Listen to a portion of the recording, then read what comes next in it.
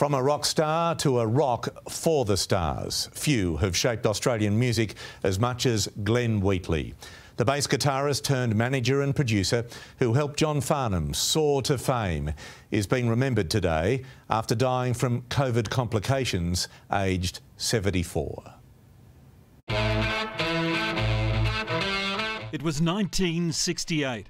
The world had the Beatles, Australia had the Masters Apprentices. Listen to the music now, turn up your radio. They were rock's bad boys with the big hair, and on bass, Glenn Wheatley. I was the right image, I had the right look, I had the long blonde hair to the shoulders. I was a bit of a hustler. I mean, I was out on the streets, I was the one on the streets bringing in all the work. A hint of what was to come. He was a dynamo and he never stopped being a dynamo after the band where it really came to fruition.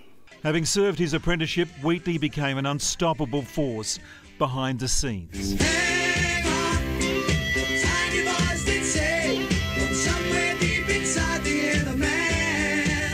He took charge of the Little River Band, spearheading their success in the US.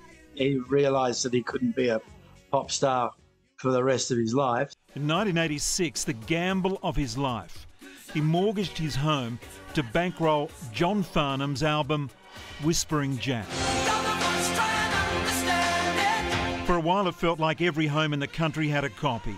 It earned a fortune. Good evening. Here is the news. Farnham and Wheatley, one was the voice, the other the brains. Arguably the most successful double act in our music history.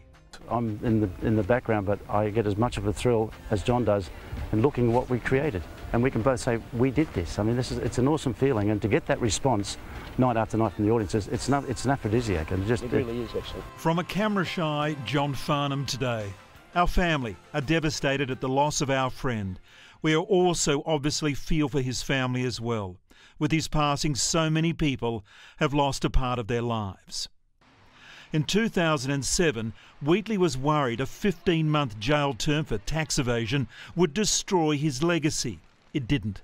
Instead, he is being remembered as an industry pioneer.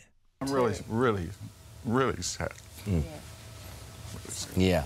You know, it's not overstating it to say that Glenn really was one of the founding fathers of the Australian mm. music. Perhaps one of his hits with his old band goes some way to sum up his life.